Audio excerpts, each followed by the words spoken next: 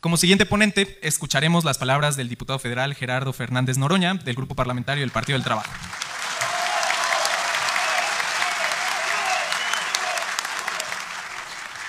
Muy buenas tardes, compañeras, compañeros. Agradezco el honor de la invitación de asistir a este cuarto aniversario de la Confederación Internacional de Trabajadores. Saludo a todo el presidium, particularmente me disculpo de no mencionar a todos, a nuestro compañero senador Napoleón Gómez Urrutia, a nuestra compañera senadora Patricia Mercado, a los compañeros, compañeras dirigentes sindicales.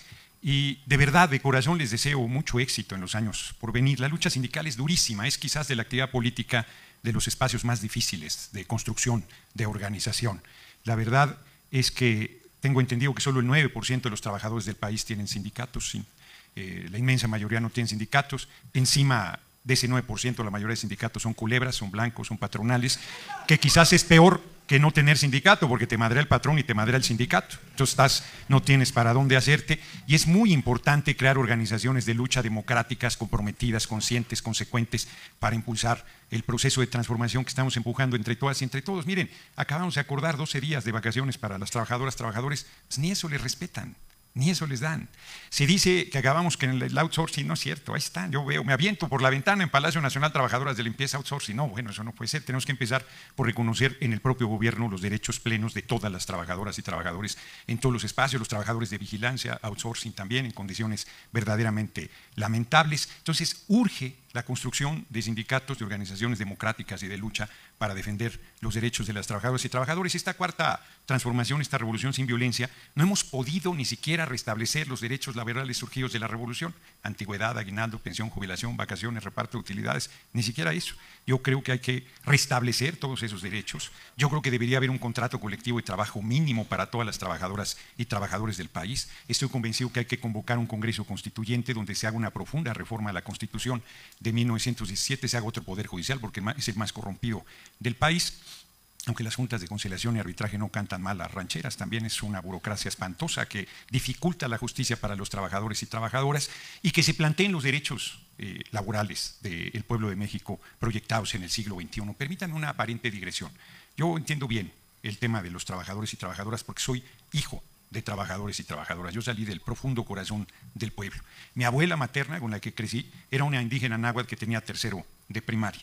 Ella eh, todavía no existía el anglicismo del home office, pero ellas la crearon. Eran costureras y trabajaban en su casa con su máquina de coser, pagando la electricidad, les pagaban a destajo y les daban tres centavos por su trabajo. Conozco bien el esfuerzo de la gente, crecí en una zona obrera, industrial, Tlalnepantla, sé porque cuando tuve la oportunidad, fui el primero que fui a la universidad de mi familia, tuve esa gran oportunidad que me cambió la vida y mi tesis la hice sobre el movimiento obrero en los 70 y ahí eh, planté, ahí compartí la, la experiencia más represiva del Estado en contra de los trabajadores y sus organizaciones sindicales, desde rompimientos de huelga, asesinatos, encarcelamientos, desapariciones, cosas verdaderamente terribles. Y, por lo, y bueno, y en mi experiencia personal tengo en mi currículum haber sido despedido por lo menos de 10 centros de trabajo por buscar la organización de mis compañeras y compañeros. Entonces conozco bien la dificultad de la organización. Yo doy mi número telefónico en todas las asambleas y el número de llamadas que tiene que ver con abusos, con atropellos a trabajadoras y trabajadores es verdaderamente enorme. Y la verdad es que pues nosotros tenemos que hacer una profunda transformación. Nosotros tenemos que lograr, porque la riqueza se produce con trabajo, no se produce de ninguna otra manera. Si nosotros pusiéramos ahí un maletín con un millón de dólares y no pasara a Calderón o el cabeza hueca de Fox y se lo robaran, se haría polvo porque solo el trabajo de las eh, personas, mujeres y hombres, trabajadores, trabajadoras, son los que crean la riqueza del país y del mundo.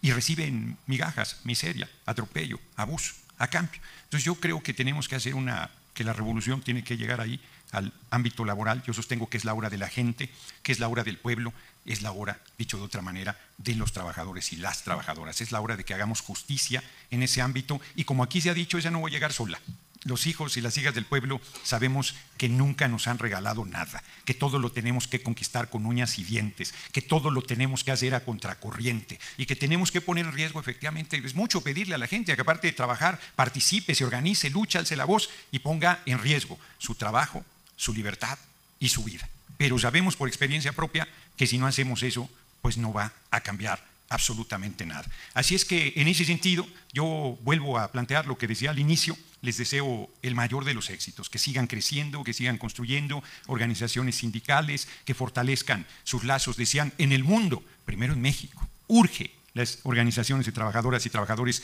democráticos en el país. Y no quiero dejar de comentar, porque es público, no es campaña, todavía no se abre el proceso eh, eh, para decidir al relevo del compañero presidente López Obrador, pero yo ya dije que quiero ser el relevo del compañero presidente López Obrador.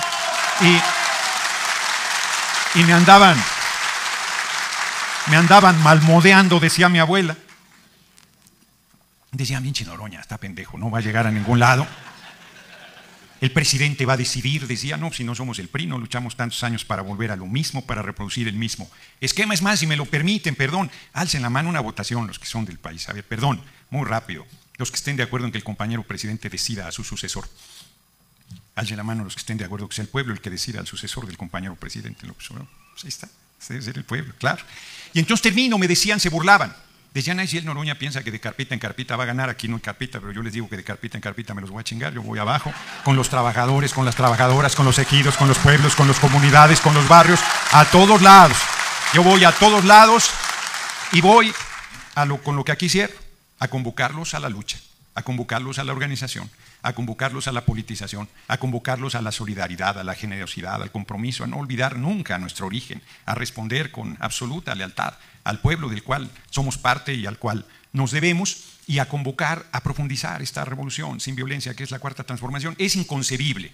Ahora sí que a estas alturas de la vida haya gente, trabajadores, trabajadoras, que voten por el PRI o por el PAN, que son sus opresores, que son traidores al pueblo, que plantearon que están en contra de la militarización que ellos crearon y que ahora aplauden la posibilidad de una intervención militar de Estados Unidos a nuestra patria. De verdad se necesita ser traidor a los intereses de la nación y del pueblo para apoyar ese tipo de iniciativas. Así es que tenemos un reto grande por delante, pero a riesgo de ser malentendido porque tengo el mismo código postal que ustedes, larga vida a la Confederación Internacional de Trabajadores y que tengan de verdad un resultado extraordinario en crecimiento y que sean uno de los baluartes de organización de los trabajadores y trabajadoras del país para lograr plena justicia social y plena libertad y que, me he alargado un poco, logremos que se vuelva recuperemos el régimen solidario de pensiones, recuperemos los eh, créditos accesibles para vivienda de trabajadoras y trabajadores y proyectemos, y por supuesto, salarios eh, mucho, mucho mejores, pero mucho mejores, y, e idealmente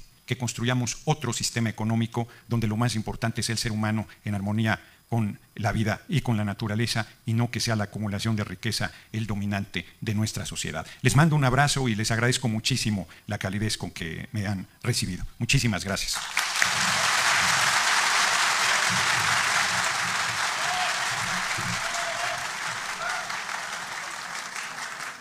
Le agradecemos la intervención al diputado Gerardo Fernández Noroña.